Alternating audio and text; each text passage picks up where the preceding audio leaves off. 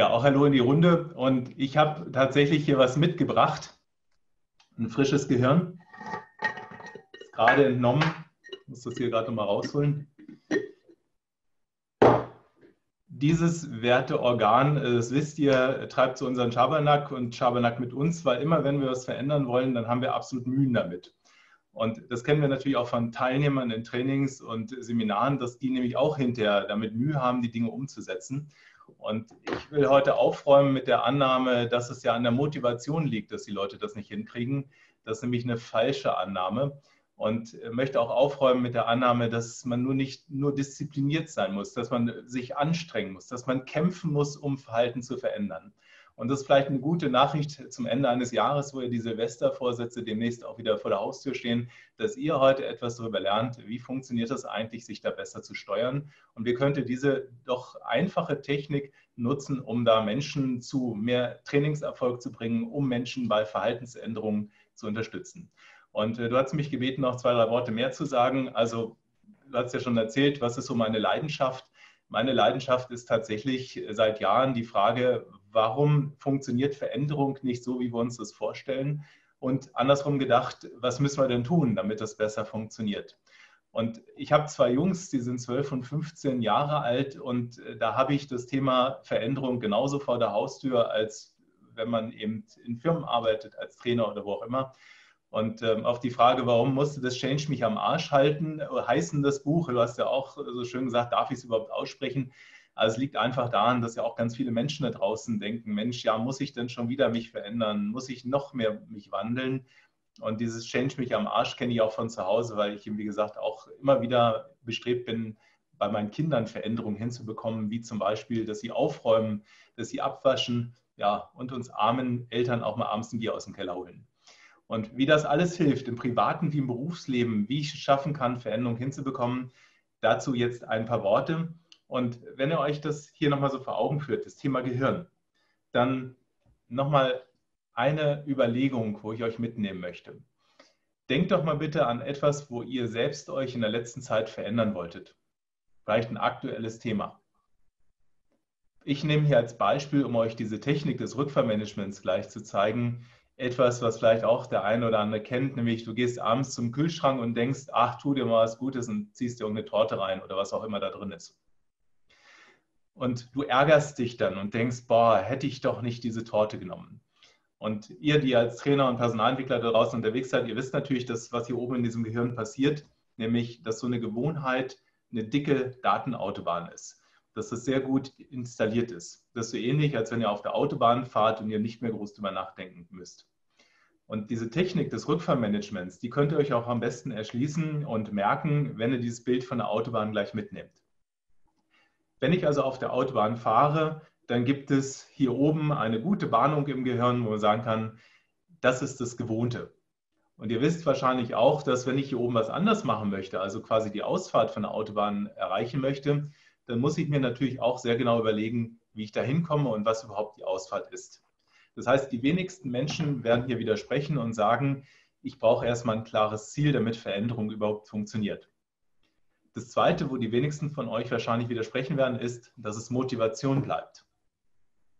Und wenn ihr euch nochmal die Trainings und all die Entwicklungsprozesse vor Augen führt, wo ihr selbst schon vielleicht aktiv wart oder wo ihr selbst euch versucht habt zu verändern, dann wisst ihr, dass dann aber eigentlich der entscheidende Moment dahingehend euch begegnet, dass ihr euch vornehmt, was zu verändern. Also ihr wollt abends nicht mehr zum Kühlschrank gehen und die dicke Torte rausholen, und dann passiert es, ihr macht es trotzdem und hinterher denkt ihr, boah, Mist, hast wieder nicht geschafft. So, und jetzt lüfte ich mal die Idee und ihr seht gleich ein Schaubild, ein Ablaufdiagramm und die Folien, die kriegt ihr auch hinterher mit, ähm, sodass ihr damit weiterarbeiten könnt.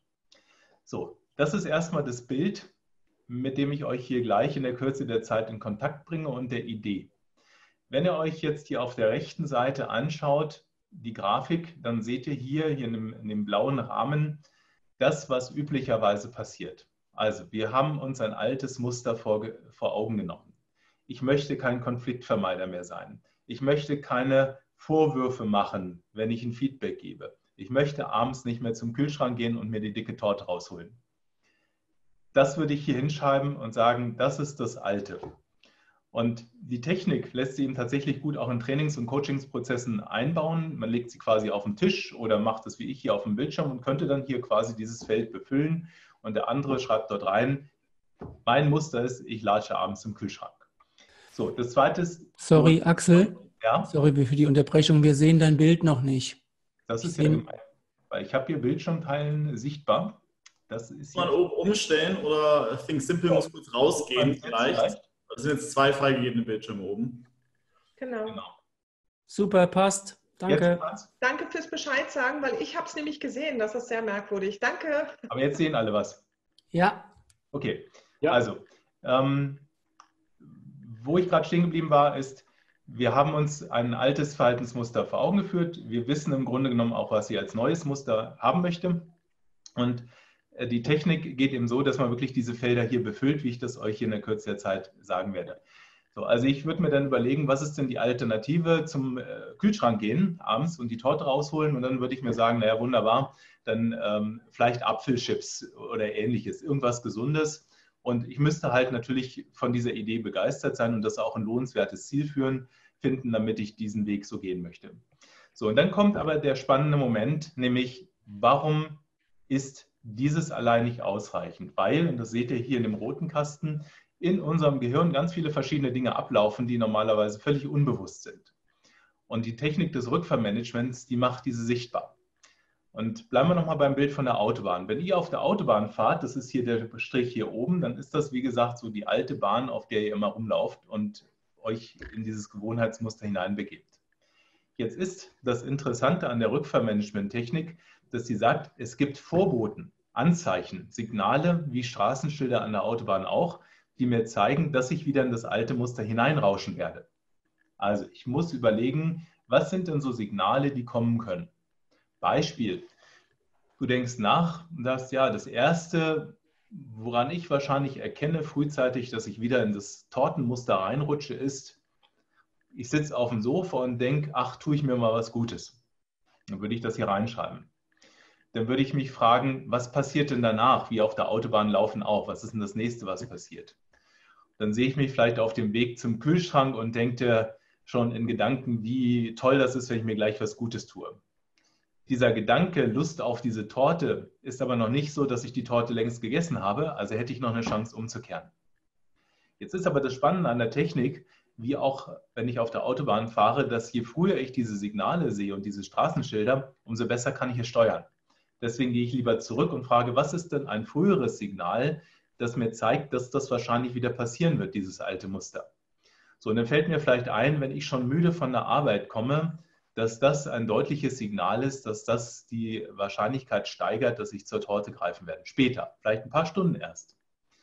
Und wiederum würde ich mich fragen, gibt es nicht noch was viel, viel Früheres, wo ich dran merken kann, es wird passieren? Vielleicht habt ihr selbst eine Idee, wenn ich so drüber spreche. Also was ist das früheste Signal? Das kann eine Situation sein, das kann ein innerer Satz sein, das kann ein Gefühl sein, wo ich merke, ich werde wahrscheinlich wieder in das alte Muster reinrauschen. So, und dann fällt es dir ein. Das früheste Signal ist, du stehst im Supermarkt und denkst, ah, Torte ist alle. Und jetzt hast du im Grunde hier eine lange Strecke, die dir zeigt, wenn ich diese Straßenschilder beachte, 1, 2, 3, 4, habe ich eine Chance, frühzeitig gegenzusteuern. Jetzt kommt aber der Trick, ich muss meinem Gehirn helfen, dass es das tut. Und da kommen wir wieder hier ins Spiel. Das Gehirn ist ja automatisch unterwegs, Autopilot, wie auf der Autobahn auch. Jetzt muss ich im Grunde genommen, dafür steht dieses Mittelfeld, muss ich mir im Grunde genommen Stopp sagen. Also bildlich, ich klopfe hier auf das Gehirn drauf, sage, hallo Gehirn, aufwachen. Das ist jetzt ein Signal, das ist jetzt ein Vorbot. Und wenn du so fröhlich weiterfährst auf deiner Autobahn, dann wirst du wieder reinrutschen. Jetzt habe ich das auch noch geschafft, diesen Gedankenstopp. Jetzt kommt das Interessante und das habe ich auch vorher natürlich nie gedacht, was das bedeutet, wenn ich das mit Teilnehmern durchgehe in Trainings oder in Coaching-Prozessen. Nämlich, ich muss hier unten überlegen, was mache ich dann eigentlich, wenn ich diesen Vorboten sehe und höre? Also was muss ich dann konkret denken? Was muss ich dann eigentlich tun? Und dann erst, wenn ich dieses Feld hier unten bestückt habe, nämlich was mache ich dann eigentlich, wenn ich in dem Supermarkt stehe und denke, Torte, habe ich nicht eingekauft, muss ich tun. Ich müsste dann vielleicht in meinem Kopf mir überlegen, Mensch, kauf keine Torte, bring sie nicht mit, auch wenn es noch so lecker aussieht. Lass sie liegen. welche Sätze dir auch helfen. Vielleicht stellst du dir vor, wie du morgen vorm Spiegel stehst und denkst, Gott, ich sehe aus wie eine Seegurke, egal was es ist. Ähm, es braucht irgendwas. So, und insofern, jetzt bin ich in der Kürze der Zeit natürlich nicht in einem kompletten Plan zu machen, gehst du hier weiter und überlegst sehr genau, was hilft dir wirklich, um das neue Muster hier hinzubekommen. Und die Grundidee ist einfach, Vorboten erkennen, Stoppsignal, Gehirn wecken, Notfallplan abrufen, damit du dann weißt, wenn die Hitze des Gefechts im Alltag passiert, was du tun musst, damit du die Kurve kriegst. Das ist so die Technik des Rückfallmanagements. Und letztes Wort, und dann gebe ich ab hier.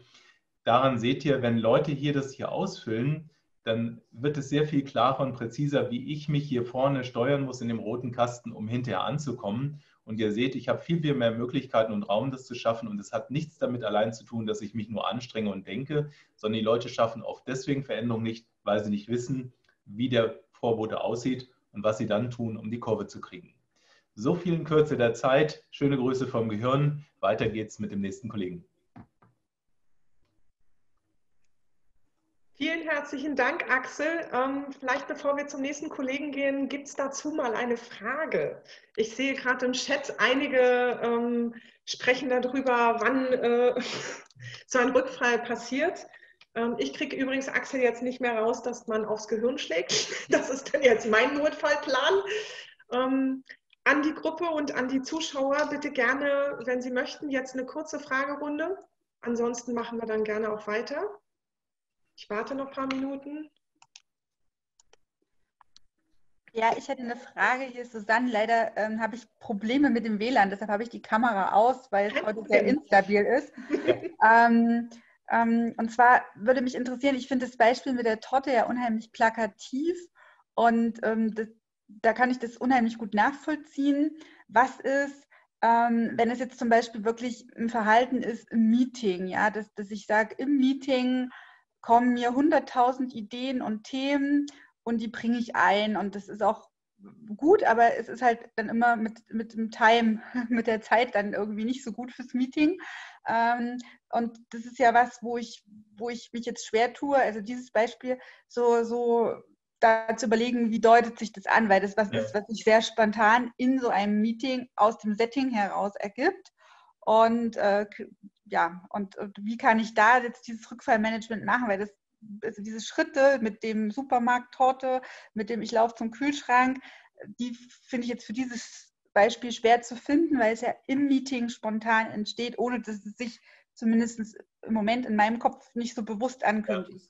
Also äh, danke für die Frage. Du sagst da was ganz Entscheidendes, nämlich, dass du momentan ähm, dir noch nicht so viel Gedanken gemacht hast oder noch nicht so dich darauf sensibilisiert hast, was du eigentlich für Vorboten vorher hast. Und wenn ich jetzt mit Leuten diese Technik mache, also zu verschiedensten Themen, auch dein Thema würde da hervorragend geeignet sein, dann ist oft so die Reaktion, dass die Leute sagen, hm, was für Vorboten? Ich weiß gar nicht, was der meint.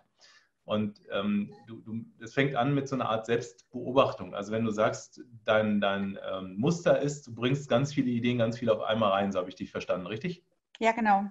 So, dann würdest du ja im Grunde genommen sagen, was ist der erste Vorbote, der mir zeigt, dass ich in diesen Modus reinschaue und reinkomme? Was ist das, was ist das, was ist auch die Situation, wo das passiert? Ich schätze jetzt mal ein Meeting, würde ich unterstellen. Genau, immer in Meetings. Und dann wäre zum Beispiel jetzt wirklich schnell geschossen, wäre so eine Frage, ähm, wenn du morgens aufstehst, der Wecker klingelt und du stehst auf, was wäre das erste Signal an diesem Tag, wo du wüsstest, es wird wieder passieren?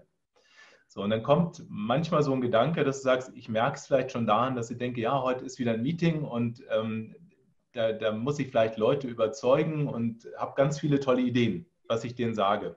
So, und dann wüsstest du, das wäre schon mal einer der ersten Vorboten. Ähm, dann geht es meistens im Kopf so weiter und das wäre halt die Fragetechnik, die da noch dranhängt, nämlich ähm, wie, wie passiert das in deinem Kopf? Was sind so die inneren Sätze, die dich sozusagen lossprudeln lassen? Ne? Und dann würdest du vielleicht merken, das ist im Kopf irgendwie so, so eine Begeisterung für eine Idee. Und wenn du diese Begeisterung spürst, dann wüsstest du, dass es ein Vorbote, dass es weiterläuft. So ganz, ganz schnell wirklich gesagt. Also das lässt sich herausarbeiten und das ist manchmal ein bisschen Übung. Und wenn du jetzt mit dem Gedanken arbeitest und sagst, ich schaue mir mal über die Schulter, wie funktioniert das eigentlich bei mir, äh, dann wäre das schon mal der erste Schritt, da mehr zu erfahren. Dankeschön. Gerne. Das ist jetzt mein Wecker, dass ich aufhören soll zu reden. Danke, meiner wäre nämlich jetzt auch losgegangen, aber Axel, vielen Dank